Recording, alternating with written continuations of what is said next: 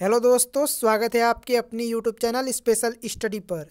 UP T P new vacancy को लेकर बहुत बड़ी खुशखबरें निकल कर आ चुकी है। आप सभी अभ्यर्थियों के लिए टी पी वैकेंसी का इंतज़ार कर रहे हैं। अभ्यर्थियों का इंतज़ार खत्म हो चुका है। जी हाँ दोस्तों, बता दूँ कि 20 दिसंबर तक सभी अध्याचन जो है, वो आयोग को भेज दिए गए हैं और प्रक्रिया जो है, वो पूरी कर ली गई है। जी हाँ दोस्तों, और यहाँ पर एक और अच्छी खबर है, जो भर्ती के जो पद हैं, वो यहाँ पर बाईस से पच्चीस के बीच में रहने वाले हैं। ये अब कंप्लीट कर ली गई है। हालाँकि तदर्थ शिक्षकों की संख्या इसमें अधिक बताई जा रही है। तो जो नए अभ्यर्थी हैं, वो फॉर्म अप्लाई करेंगे तो उनकी संख्या कुछ कम रहने का अनुमान लगाया जा रहा है। भर्ती की बात करें तो दोस्तों, यहाँ पर आचार संहिता के पहले और आज से कभी भी आपका जो वैकेंसी है, उसका विज्ञापन जारी किया जा सकता है। तो आपको चैनल को सब्सक्राइब करके रखना है, क्योंकि जैसे ही विज्ञापन आएगा, मैं आपको तुरंत वीडियो के द्वारा नोटिस दे दूँगा।